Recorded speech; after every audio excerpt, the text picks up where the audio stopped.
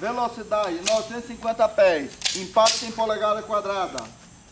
É mais ou menos 600, é, 580 joules no canto do vidro. Pista quente! Ok, vamos lá verificar o impacto.